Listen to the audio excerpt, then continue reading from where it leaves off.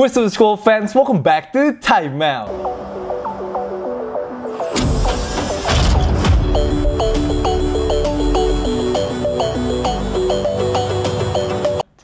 Time out gang, oh my god. Saat-saat yang kita tunggu selama off season IBL akhirnya tiba juga.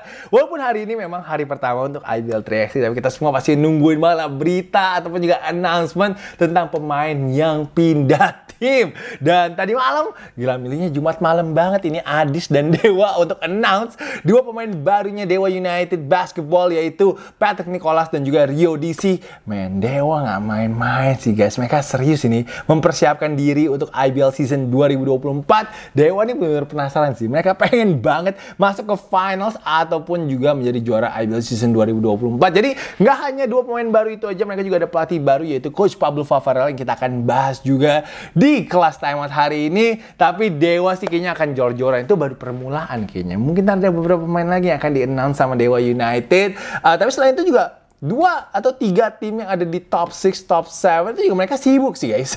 itu sibuk banget untuk revamp uh, revamp timnya mereka untuk season depan. Tapi emang rumor ini lagi hot banget sih. Rumor-rumor di IBL lagi hot banget dan juga banyak banget. Gue pun nggak bisa keep up. Tapi untuk kalian yang penasaran dengan perpindahan pemain ataupun juga rumor terkini di IBL, kalian bisa join di Discord kita. Gue kadang-kadang kalau emang lagi dapat rumor, gue akan share di grup Discord. Uh, kalian bisa jadi member dulu di channel ini, lalu install Discord di smartphone kalian dan setelah itu kalian bisa konekin YouTube dan juga Discord kalian dan nanti kalian automatically akan masuk ke Discord server kita. Hari ini sih yang paling hot rumornya adalah Rans sama Satria Muda katanya tukeran pemain muda. Gila gue tadi pagi pas dapet rumor itu gue bener-bener shock banget sih. Gue gak nyangka soalnya siapa yang akan pindah dari Rans dan juga dari Satria Muda. Jadi ditunggu guys di Discord and of course Selain kita akan bahas IBL, kita juga harus membahas tentang NBA. Dwight Howard, man, he's been making a lot of noise this past week. Dwight Howard katanya akan mendapatkan meeting dengan Golden State Warriors minggu depan ini. Apakah Warriors butuh seseorang uh, Dwight Howard, uh, sorry, seorang Dwight Howard untuk bisa menjadi juara next season. Nah, itu dia yang kita akan bahas di kelas time out hari ini. Of course, guys, thank you so much guys sudah join kelas hari ini. Jangan lupa untuk likes-nya. Ini gue bela-belain sih. Mungkin kelasnya nggak akan sepanjang biasanya karena gue lagi di Semarang. Tadi pagi barunya, tadi siang sih baru nyampe. Uh, baru itu baru nyampe sejam yang lalu. um, ya, gue akan meliput uh, uji coba untuk Prapon. Akan ada empat provinsi yang bertanding dan hari ini big game-nya adalah DKI Jakarta melawan Jawa Barat, uh, Victor Deo, Arthur, wah ketemu Jalu, that's gonna be fun. Jadi tunggu aja untuk liputan gue dari Semarang. Kalau gitu guys, kita akan langsung mulai saja kelas time out hari ini. Um, di awal kelas ini gue mau bilang aja gue happy banget dan juga big shout out kepada Abraham Damar Grahita dia hari ini pakai jersey timnas lagi walaupun bermainnya dengan select team tapi benar gue merasa lumayan lega dan juga mulai excited untuk melihat Abraham Damar Grahita bermain basket lagi di Indonesia secara kompetitif. Um, kalau udah begini berarti mungkin urusannya dia dengan Prawira Harum Bandung sudah selesai uh, dan semoga Abraham juga bisa cepat-cepat main basket dengan happy lagi, dengan tenang lagi dan juga bisa memperlihatkan skill-skillsnya yang dia pelajarin kemarin ini selama bermain di B-League Jepang Divisi 3. Um, ya harapan gue sih sebenarnya itu aja sih untuk Abraham karena gue pengen banget nonton dia uh, di IBL dengan tim apa pun itu nantinya next season. Walaupun banyak gosip di luar sana. Um, like I said gue sebagai fans IBL gue coba pengen lihat the best players yang ada di Indonesia itu untuk bisa bermain di IBL next season. Karena IBL next season is gonna be so fire guys. Sama kayak cannot wait sih. Uh, Abraham barusan actually baru aja DM gue. Dia bilang gue ngap banget main hari ini. Dia bilang gitu. Ya kelihatannya memang kan udah lama mungkin dia nggak main 5 on 5 dan juga main dengan lawan-lawan yang sangat kompetitif. Jadi wajar lah ya Bram ya kalau agak ngos-ngosan hari ini um, ya tadi Bram main dengan Reza Guntara satu tim di select team uh, gue baru ngeliput nanti uh, dibuka me, uh, untuk media itu tim nasional lawan select team tuh hari Selasa tanggal 19. Jadi nanti gue akan liput, ditunggu aja liputannya. But like I say, I'm very happy for Bram. Karena ini kita tinggal nungguin Reza Guntara akan ke mana. Karena udah lama banget ini tidak resign dengan uh, Prawira Harum Bandung. Tampaknya negosiasi antara Prawira dan uh, Reza ini cukup alot deh kelihatannya. Jadi ngeri-ngeri sedap juga. Gue kan belain Prawira ya. Jadi ngeri-ngeri sedap juga kalau Reza pindah sih palanya pecah juga. Tapi Coach Dev juga pusing kali kalau Reza pindah nanti itu ya. Um, tapi Ivan dari Createlist of course uh, kayak sedang bekerja keras kali ini untuk bisa mendapatkan the best deal lah untuk Reza Guntara apalagi dia habis jadi finals MVP baru bawa uh, Prawira juga juara setelah 25 tahun jadi of course that price is going up. That price is really expensive sih untuk Reza. So good luck sih, good luck untuk Reza dan juga untuk Createlist. Semoga bisa mendapatkan uh, kesempatan, opportunity dan juga the best deal sih untuk Reza next season. Oke, okay. Sekarang kita akan bahas tentang Dewa United yang akhirnya resmi untuk mendapatkan Patrick Nicholas dan juga Rio DC. Sebelum kita bahas dua pemain itu, of course mereka juga seperti gue bilang kehadiran pelatih baru yaitu Coach Pablo Favarel. Uh, dia fresh banget sih, baru aja selesai bekerja di tim nasional Venezuela sebagai asisten coach selama FIBA World Cup 2023. Uh, dia kayaknya main dari Manila langsung dicomot kayaknya sama Dewa langsung diterbangkan ke Jakarta. Uh, dia kayaknya juga cukup lama sih, tau gue di 2019 juga pernah bekerja kerja juga di timnas Venezuela juga mungkin sebagai assistant coach. Gue juga belum hafal banget tentang resumenya dia. Um, tapi yang pasti dia itu pernah juara juga di Liga Venezuela. Dan yang pasti dia adalah orang Argentina guys. Kita kan tahu ya kok Dewa United ini bener obses banget kayaknya sama pelatih dari Argentina. Ini pelatih ketiganya mereka setelah coach Maxi dan juga coach Santiago uh, Rimoldi. Aduh bagus tadi. Agak lumayan berharap uh, coach Tato itu bisa balik lagi ke Dewa United karena memang kayaknya itu dia udah bisa membentuk chemistry lah ya dengan anak-anak ataupun juga pemain pemain-pemain Dewa United tapi sayangnya memang tidak dapat kesempatan lagi kita dapat beberapa memes pada kemarin sejak uh, saat lagi playoff kemarin ini but uh, Coach Favarel of course datang dengan resume dan juga um, gue belum tahu sih style permainan dia seperti apa sih. Gue cukup penasaran. Tapi of course dia banyak banget sukses di uh, basket Amerika Latin. Itu kenapa Dewa tertarik sama dia. Tapi menurut gue yang lebih crucial untuk Dewa United adalah mereka hire Coach AF Rinaldo aka Coach Inal sebagai assistant coach di Dewa United. Of course, Coach Inal sudah melalang udah melalang buana ya bahasanya gitu ya. Sudah sering banget jadi head coach di IBL bersama kok gue salah sama Stapak, NSH, huh, Prawira, I I'm not wrong.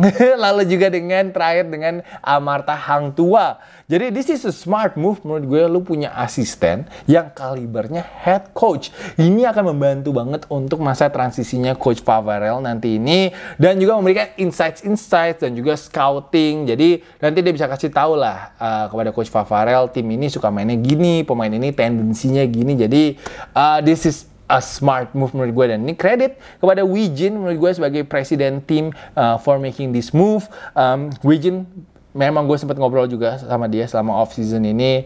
Uh, dia benar-benar pengen banget sih untuk Dewa United bisa menembus final sih next season ini. Itu kenapa off season ini benar-benar mereka pengen banget membuat squad terbaik sih untuk bisa challenge for that IBL season 2024 title. Um, masuk sekarang kita akan bahas pemain of course kalau gue sebagai uh, nonton IBL penonton IBL gue melihat Dewa United itu uh, masuk ke off season ini concern nomor satunya adalah scorer uh, yang konsisten untuk membantu Caleb dan juga pemain asing. Uh, apalagi sekarang kalau nggak salah Yus akan pensiun juga dari IBL.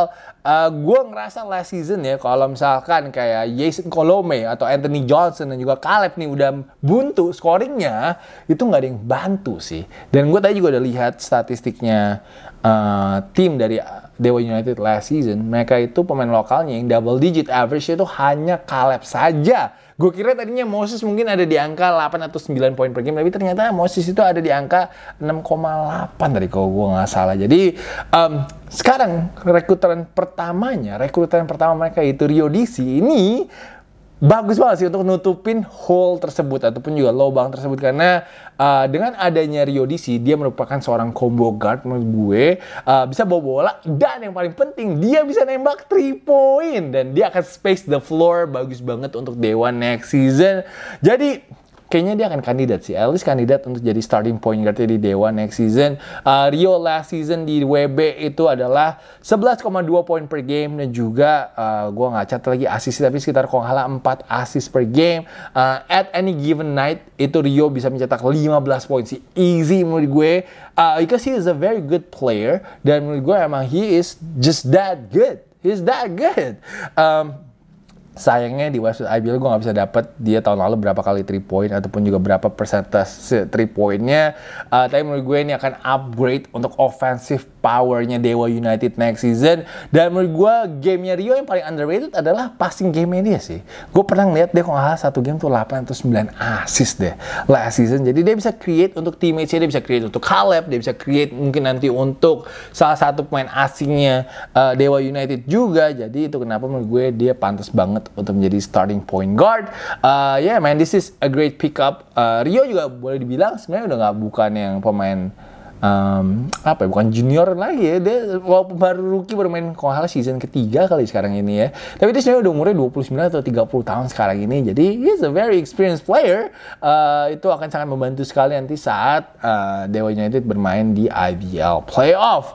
Um, dia yeah, dia juga ada ada stint juga bersama tim nasional 3x3 juga sih. So yeah man Rio such a great pickup banget sih untuk si Dewa United. And of course ada Patrick Nicholas temennya Rio dari West Bandits yang juga ikutan pindah ke Dewa United. Um, Patrick sekarang udah bisa senyum lebar lah. Udah nggak terpaksa lagi senyumnya sih I'm very happy sih. Fresh start untuk Rio dan juga untuk uh, Patrick of course dua pemain ini pasti punya motivasi tinggi juga ya untuk bisa prove their value uh, dan juga pastinya uh, mereka punya motivasi untuk bisa uh, menjadi juara ke depannya. Karena of course fasilitas di Dewa luar biasa. Mereka punya baru punya mes baru dan juga mereka akan punya lapangan baru sendiri. Jadi um, they are in a very good situation menurut gue dan pastinya mereka mencoba untuk bisa take advantage of it.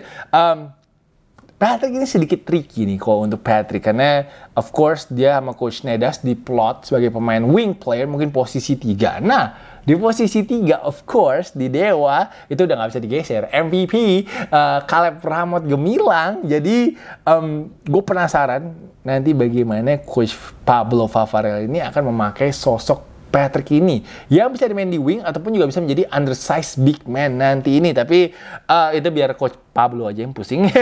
Uh, Dewa pastinya dari Patrick ini akan mendapatkan pemain yang energetic yang nggak pernah capek pemain yang akan hustle terus untuk bisa uh, mencari rebound dan juga bisa create second chance opportunity. Nah di basket itu penting banget untuk punya seorang sebuah tim itu punya pemain yang bisa create second chance opportunity ataupun juga third chance opportunity. Dia akan mencoba untuk bisa dapat offensive rebound yang banyak. Kita tahu dari zaman dia kuliah, Patrick ini timingnya untuk rebound luar biasa banget sih. Jadi ini akan memberikan keuntungan banyak banget untuk Dewa di next season. Uh, Patrick tinggal work on his shooting menurut gue. Dia Of course kalau kita lihat di uh, beberapa pick up game mainnya juga dia bisa nembak 3 point. He could shoot the 3, he could hit that 3. Tapi sekarang ini dia harus work on his shot biar dia bisa consistently hit that 3 point agar dia juga bisa spread the floor, bisa create space juga untuk Dewa United di musim ke depan ini. Uh, tapi menurut gue hadirnya Patrick ini sangat membantu banget untuk kedalaman squad untuk kedalaman skuadnya Dewa United juga, and of course gue yakin juga Patrick ini salah satu rising star sih nantinya di IBL. Um, ya, untuk pemain asing gue penasaran juga, gue nggak tahu nanti Dewa, ini sebenarnya juga tergantung ya, si Dewa ini ngambil pemain asing yang tipenya seperti apa, itu nanti juga akan mempengaruhi rotasi dari coach Pablo Favarel. Um, ya, Kohala pemain asing itu kita baru tahu peraturannya mungkin tanggal 22 September nanti ini jadi ditunggu aja. Um, tapi Dewa gue yakin juga pemain asingnya kalau nggak ada kabar yang lainnya rumornya pemain asing itu boleh ngambil dari mana aja. Uh, ngeri sih. Dewa. Brandon Knight.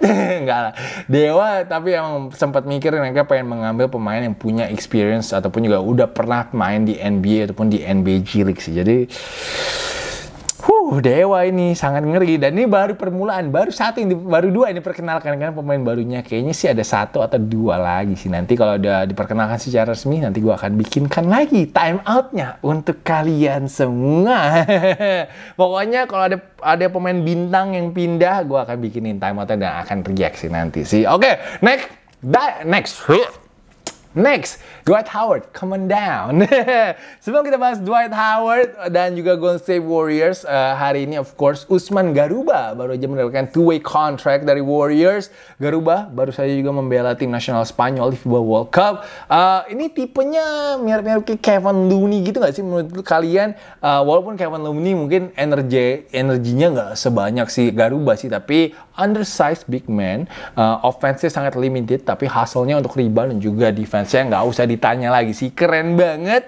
Uh, tapi of course walaupun mereka dapat Garuba yang masih sangat muda 21 tahun kok gue nggak salah uh, tapi menurut gue emang posisi big man di uh, Warriors ini sangat tipis banget sih. Mereka butuh banget sih nambahin satu atau dua lagi untuk bisa memperkuat frontcourtnya mereka yang isinya mungkin sekarang masih Kevin Looney, Dario Saric, lalu juga Draymond Green yang mungkin dipaksakan juga untuk main center. Jadi kalau mereka bisa dapetin satu big man yang bisa jaga Nikola Jokic, itu sangat penting banget untuk chance mereka menjadi juara next season. Uh, kandidatnya sekarang ini mereka udah workout ada beberapa pemain senior seperti Tony Bradley, Derek Favors, uh, Dwayne Dedman dan juga terakhir adalah Dwight Howard. Uh, Dwayne Dedman not bad sih sama, sama Derek Favors sih kayaknya ya. Tapi menurut gue kalau bisa dapat Dwight Howard, why not sih untuk Golden State Warriors? Sekarang ini kabarnya uh, mereka akan mengadakan interview dengan Dwight Howard next week. Interview ini sih untuk tahu motivasi dan juga mindset dari Dwight Howard sih menurut gue. Uh, sekarang ini Dwight udah 37 tahun, season ke-19 kalau dia akan bermain bersama Golden State Warriors. Terakhir itu dia main di NBA tahun 2001-2022 bersama Lakers di bubble, eh nggak di bubble kali ya, di luar bubble itu. Uh, average-nya 6,2 poin per game game dan juga 5,9 per game, uh, 5,9 rebound per game itu masih not bad sih menurut gue statsnya sih. Uh, I think he is in a very good shape setelah dia bermain di Taiwan, dia jaga badannya banget. Uh, I think kalau cuma main 5 sampai 10 menit aja sih dia bisa tetap menjadi pembeda sih. Bisa jadi rim protector lalu bisa ngefal ngefalin orang yang kasar. Dan juga di bubble kalau kan dia dibilang Jokic stopper right? Nah bisa jaga Jokic juga mungkin nanti di NBA playoff. Kita tahu kita udah nggak ragukan lagi lah ya uh, pedigree dari seorang Dwight Howard. Dia uh, championship uh, menang championship with the Lakers di 2020 uh, bisa jadi presence yang bagus juga di locker roomnya si Golden State Warriors. Menurut gue dia main pick and roll sama Chris Paul sih ngeri juga loh sama Steph juga not bad menurut gue. Uh, I think dia masih bisa set good screens untuk Steph, untuk Clay, cari tem tempat untuk nembak. Bisa lah menurut gue lah Dwight Howard masuk lagi ke NBA. I think NBA needs Dwight Howard man. And the Warriors need Dwight Howard menurut gue sih. Menurut kalian gimana? Kalian bisa komen aja di comment section. Apakah Warriors butuh seorang Dwight Howard? Let me know guys. Um, tapi jujur seperti gue bilang gue berharap banget sih untuk Dwight bisa balik lagi. Apalagi kita tahu hari ini udah boleh dibilang no drama lah mungkin nanti si uh, Golden State Warriors karena kan Jordan Poole udah ke Washington Wizards. Jadi kadang harusnya locker roomnya udah oke okay banget. Jadi Steph and Clay very hungry. They are very hungry to win another championship. Gue baru aja juga nonton interview-interviewnya mereka. Katanya this season, this off season berbeda banget sih sama off season tahun lalu.